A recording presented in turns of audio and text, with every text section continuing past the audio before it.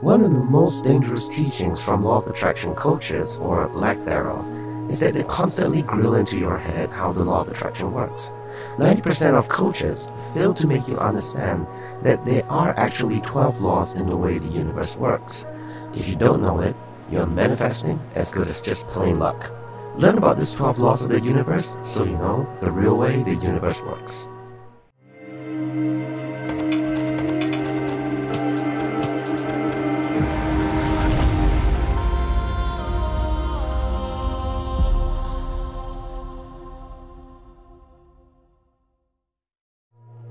Namaste, Sacred Masters. I'm Dr. Aiwass Ukehi, Certified Shadow Work NLP Manifestation Coach, and today we are going to talk about the 12 laws of the universe. Now, many of you are already familiar with the law of attraction, popularized by Rhonda Burns in a best-selling book and documentary, The Secret. The basis of The Secret is that positive energy attracts positive things in your life, and by merely thinking, you can manifest anything you want and desire. While there are many believers who treat this theory as Bible, citing roots to Napoleon Hill's Think and Grow Rich, Norman Vincent Peale's The Power of Positive Thinking, or Tony Robbins' Unleash the Giant Within. The undercurrent of each book is to mind your thoughts, stay positive, ignore self-doubt and criticism.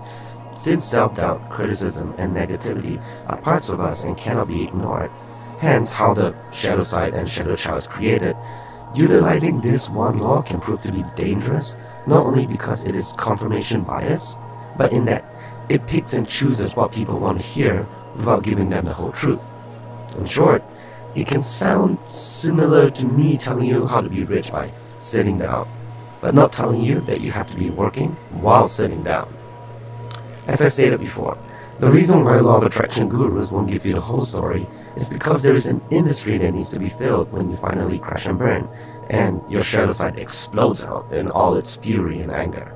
And when your life seems to be in the dark and bleak hole, these gurus have a course, seminar, or retreat waiting, with some costing upwards of $10,000. Ironically, the self-help industry that it creates already fails the 11th law, which is the law of rhythm, because it tries to keep you within a cycle of economy instead of universal energies. This toxic positivity expresses itself in damaging ways, in that victims of terrible events in life are blamed for manifesting negativity, while any positive events in life is due to the wondrous and insightful teachings of the Guru, which already fills the first law, law of divine oneness. Therefore, in order not to be stuck in this endless cycle of economics and capitalism parading as spiritualism, understanding the 12 laws of the universe is necessary as part of our shadow work. Having the foundations of these 12 laws means you not only become successful in shadow work, but you understand how to apply it in harmony with the energies of the universe. Without shadow work and understanding the 12 laws of the universe, we fall into the harmful effects of toxic positivity whereby our need to control and avoid uncertainty triggers a failure to effectively process emotions that leads to physical damage to our body, such as disrupted sleep, substance abuse, prolonged grief, and even PTSD. Because we are not matter, but rather energy, vibrations, and frequencies. What you don't heal still manifests itself into our physical world, whether you realize it or not. The law of the universe do not change, unlike the laws of man. These laws were not created by humans, rather, they have been observed and recorded as inherent in composition, structure, and function in the universe. Thus, with the knowledge of these laws and applying them to your shadow work and manifesting, you need not worry about changes or updates. The only change is you, as you grow, mature and bloom within these laws and the harmony of nature, relationships with others, and yourself. Remember, the laws of the universe, as the name states, doesn't apply only to Earth. It applies to the entire universe. As physics is a pattern that nature obeys, our energies, vibrations, and frequencies is a pattern that functions within these laws of the universe. The light coming from a child's flashlight moves in exactly the same speed, 180,000 miles per second, as the furthest star in the galaxy. The proton-electron mass ration is the same in a galaxy 6 billion light years away as it is here on Earth. Thus, while physicists have acknowledged that the universe is governed by dependable, immutable, absolute, universal mathematical laws, there is no origin. That is because time is a construct created by man to create a sense of balance by making it linear. So, if the universe is orderly and you are part of the universe, we should begin to apply these laws into our shadow work. Let's get right into it. The law of divine oneness. When we understand this law, the rest of the laws of the universe will make sense to us. In the simplest term, it states that we are all connected, which means everything that we can see or not see is connected. Every thought, every action and event is in some way connected to each other. For those who are religious, this may be a hard pill to swallow as we are accustomed to separating ourselves from a divine entity. But remember that the foundations of religion, held together by your own economy, tithings and donations, like men, are fundamentally flawed. If you are Christian, the idea of divine oneness is already in the Bible. In John 17:21, that all of them may be one. Father, just as you are in me and I am in you, may they also be in us. Since we are talking about law of the universe, I will refrain from my thoughts on religious institutions created by men. Because we are all one, connected to source. Within us is divine consciousness. We affect each other's vibrational frequency, which is where the term hive mind and collective consciousness comes from. This is why group meditating is beneficial. This is why you feel good when you help others out. And when you hurt someone, you feel guilt. I am you, and you are me. When I describe the positive effects of shadow work in that you become the true and authentic you, as well as improve relationships, I am tapping into the first law of divine oneness. When people see the real and authentic you, they feel more connected to you for this very reason, because we are all one. Thus, by reclaiming your true self in shadow work, the world around you begins to connect with that true self. The law of vibration. We are all energy, frequencies, and vibration. We already know this, even for those who are not spiritual. At many points in our life, we can feel the vibe of someone or someplace. Vibrations are sensory, and we send these vibrations out everywhere we go. At a microscopic level, we can see that everything from atoms to subatomic particles are in reality vibrating, just at different frequencies. Because the law of vibration decrees that everything moves and nothing rests, it is our natural state to be in motion. Light, heat, magnetism, electricity, and sound are just different forms of vibratory motion, as are trees, chairs, animals, and even computers. When our vibrations are aligned, we gravitate and feel joy towards something. A depressed person might enjoy the melancholy vibratory sounds of bands like The Cure or Nine Inch Nails, while a hippie might enjoy the psychedelic vibratory sounds of The Grateful Dead. Notice that as you grew up and your vibrations change, so do your tastes in other vibrations such as music, movies, and art. When we reclaim back our authentic self through shadow work, we become aligned with the vibrations that give us joy, happiness, and fulfillment. We learn in shadow work that high vibrations such as love, happiness, and joy are no different than the low vibrations such as fear, anger, and sadness. They are just vibrating at different speeds. It is just a stigma of using words like high and low makes us think there is a good and bad. This is because we live in a three-dimensional world, plane of dichotomies, accustomed to thinking of things in good, bad, black, white, or yes, no. But with the universe, it is merely different vibrations, such as we don't say one music is better than the other, but that we have different tastes. Now that you understand what the law of vibration is, you can be more in tune with your environment around you and what you vibrationally gravitate towards. It is important because we can use these projections to reveal more about ourselves through shadow work. Law of correspondence. This law states that the universe reflects back onto us what our inner world is, which means that our reality is just a mirror reflecting back who we are on the inside. Fundamentally, because shadow work is about self-reflection, awareness, and taking responsibility for our authentic selves, knowing this law allows us to get a manual on what we need to work on. It is almost like the universe is showing us, through our reality, what we need to work on. This is how the universe communicates with us different parts of ourselves. In the Kybalion, a study of Hermetic philosophy of ancient Egypt and Greece, the law of correspondence can be summed up into four words. As above, so below. As this relates back to the first law of the universe of divine oneness, in that what lies in the visible stars is linked to life on earth, that microcosm and macrocosm are connected. The law of correspondence expounds on it by saying that our inner world and outer world are the same.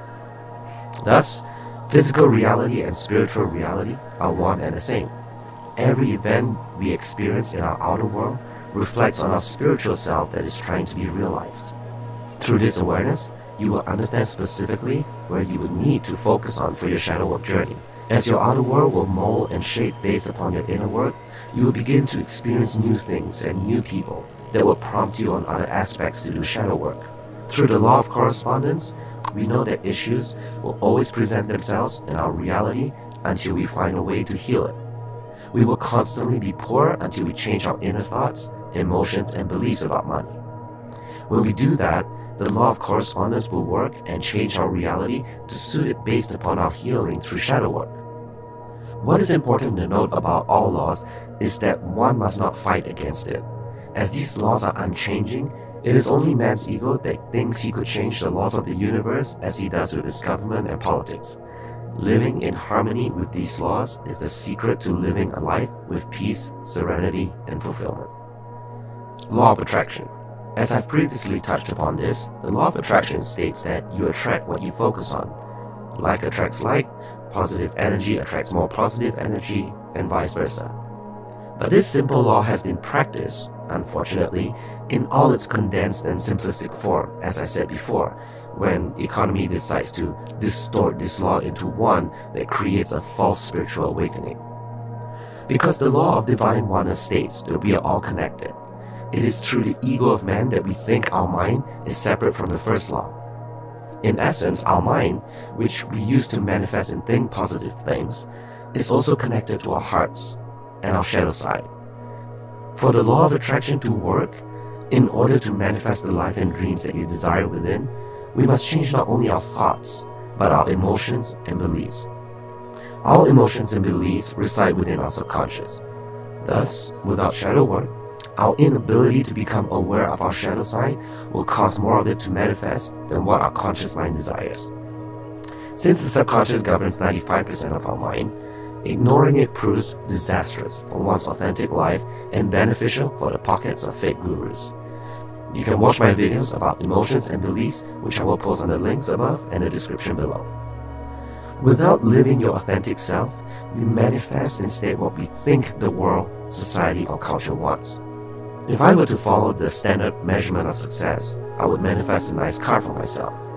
But my authentic self never liked cars, and instead, I focus my manifesting on stability in money and loving relationships with those around me.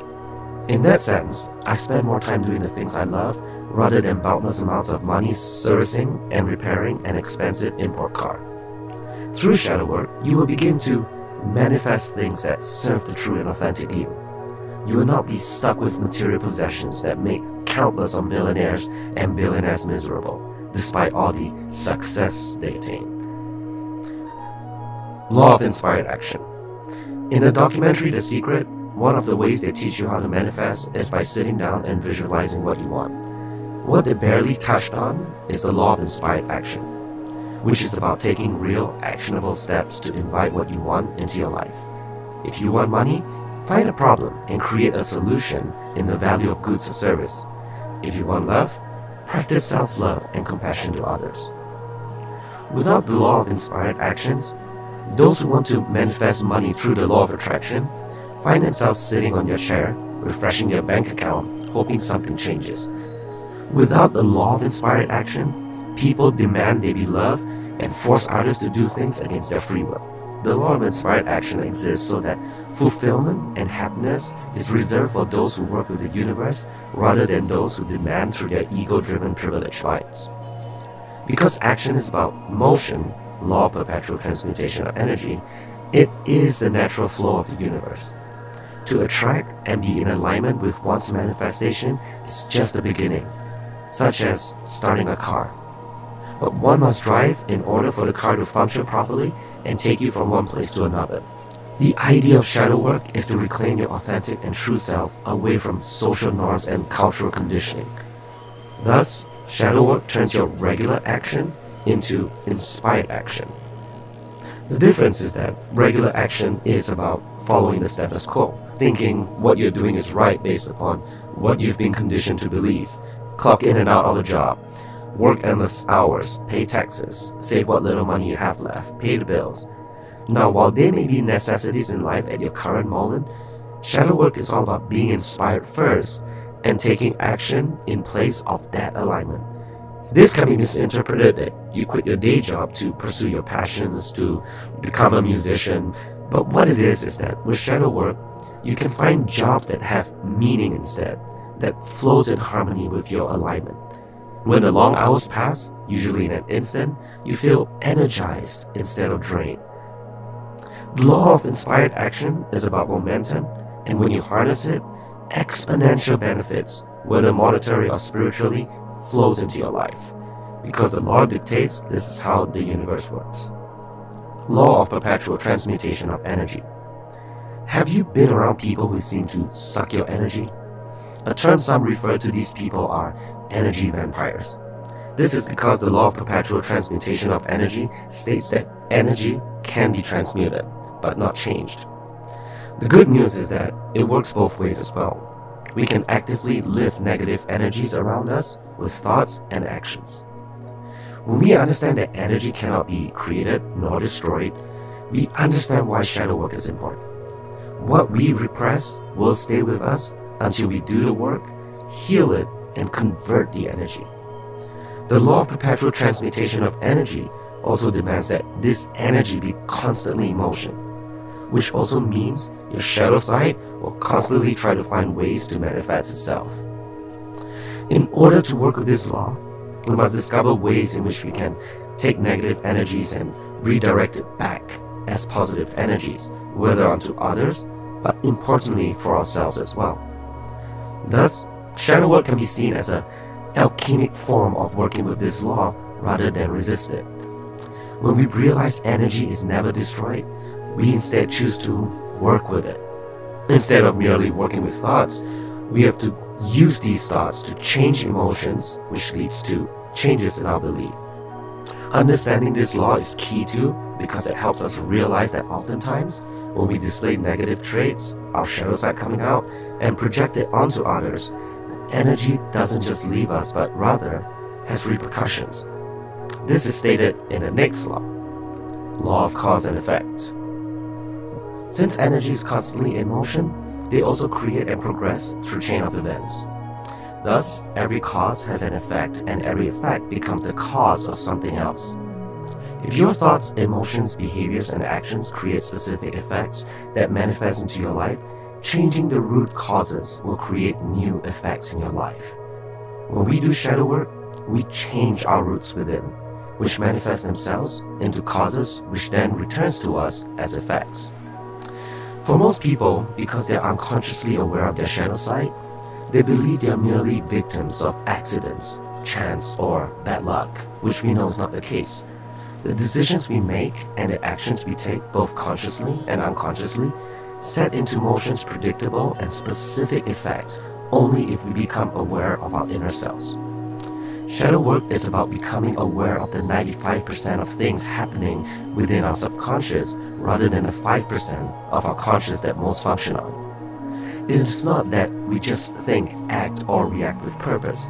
Other times, the law of cause and effect is set in motion with subconscious patterns which can manifest itself in ways such as habits, beliefs, values, meta programs, and psychological rules. To be aware of how they manifest and affect our life, we have to be conscious of this law.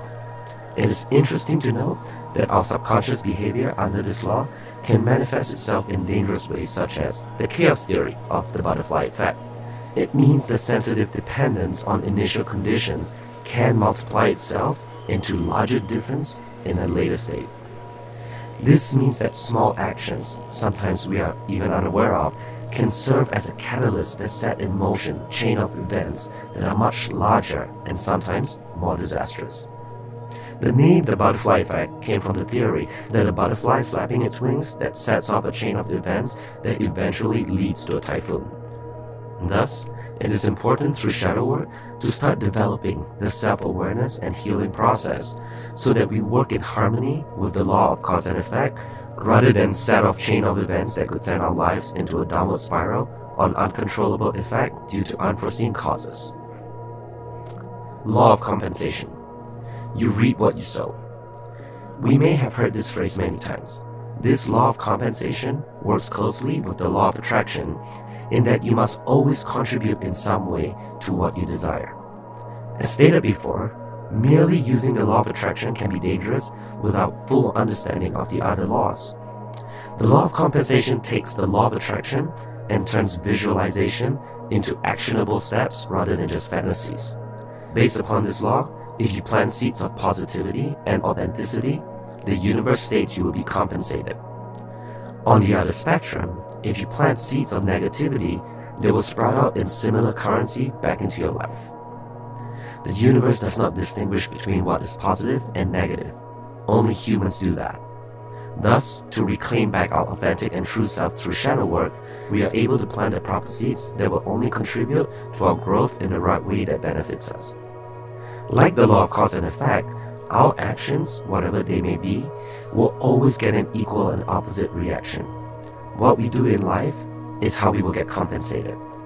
Similarly, what you give will determine what you get in return. If you give love, you will get more love in return. If you help others, then you may be compensated in financial rewards or fulfilling relationships, depending on what seed you plant. Law of Relativity As I stated in the first law, the universe does not discern what is positive and negative. This is due to the law of relativity, in that everything is neutral. What we decide is good or bad is based upon how we relate to things, based upon our experiences, and how we compare them to the external world. For example, you may wish to live in a nice big mansion over your one bedroom apartment, but that's because you're comparing your living arrangements to that of someone else you deem to be wealthy. But for a homeless person, you are blessed with such an independent, wealthy, privileged, and abundant life. It's all relative. The universe doesn't judge what is good, bad, big, or small until it is experienced and compared by us. Thus, you can also understand that nothing is too big to achieve, as your goals in life, based upon the law of relativity, for wealth, love, and abundance are the exact same as your goals for manifesting the next cup of coffee. When you understand this law, you strip away the need to compare yourself to others and are able to serve yourself more authentically. Law of Polarity This law states that everything in life has an opposite. While I'm hesitant to say that every good has an evil, love with fear, warm and cold, to understand this law means to accept the previous law that everything is relative as well. Instead of seeing something as good and evil, Understanding the law of relativity also means to us, cats are beautiful pets, but to a mouse, it's a dangerous killing machine. Hence, when understanding the law of polarity, we must be conscious of the law of relativity as well. The law of polarity helps understand the process of our shadow work in that everything exists with duality. They are two inseparable parts of the same thing. Just like you could touch water and decide whether it's hot or cold, it is not the opposites we are experiencing, but the same continuum water. In life, we forget that we are touching water. Instead, we just see it as hot water or cold water. And just like water, your shadow side is part of you in this continuum. We are able to see our shadow side, but we are also able to see the light side and how we can transmute this energy by shifting our energies. Through shadow work, we recognize the law of polarity and harness it to work for our growth rather than to repress it and avoid it. Mastery of this law with shadow work is understanding how to switch between polarities through the acceptance of it. We accept negative situations in terms of what we can learn from it, how to accept that based on the law of relativity, it may not be as bad as it seems. On the other end of the spectrum, switching to the polarity of positive situations can teach us what we want more out of life as well as practice of gratitude. Law of rhythm. One has to look into nature to see this law at work. From the tides that flow in and ebb out to the cyclic seasons of the year, energy works in the same way as well and is a vital part of the larger cycle. We experience business prosperity and then watch it go into hard times. We wonder why the universe would pull back on abundant energies when you have used the law of attraction to manifest and the law of compensation to work hard for it. But since we understand the law of polarity and the law of relativity, we are able to use these times to our advantage as well. The law of rhythm helps us remove ourselves from judging what is good or bad and attachment to outcome, but rather work in harmony with the universe to see what lessons could be learned because the energies cycle back upon us to prosperity again. When farmers see their crops bloom in fall and they see the fruits of their success during winter, the law of rhythm states they will still have to plant more seeds in spring and nurture those seeds in summer. Those unaware of this law expect to have prosperity all year round, rather than see cycles as an opportunity to plant more seeds. We understand from the law of rhythm that sometimes when we want dreams, desires, and miracles to happen, the universe delivers through this law, sometimes in the flow of abundance and sometimes on the ebb tide. Law of Gender The law of gender states that all things have masculine and feminine energy in it.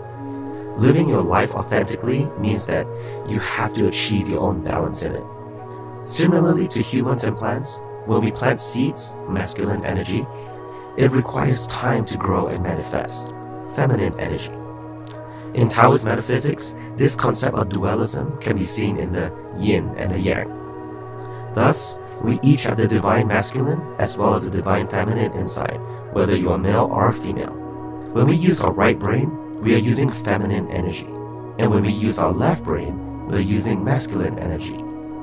Thus, creative problem solving, feminine, which requires the execution of actionable steps, masculine, embodies the law of gender, which is where the most successful people in the world have harnessed and are able to go back and forth between these energies.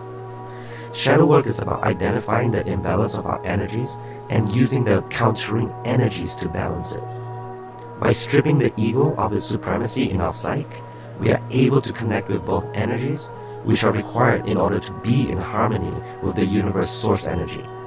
Because we know in the law of rhythm that circumstances change, we utilize the law of gender to realign ourselves.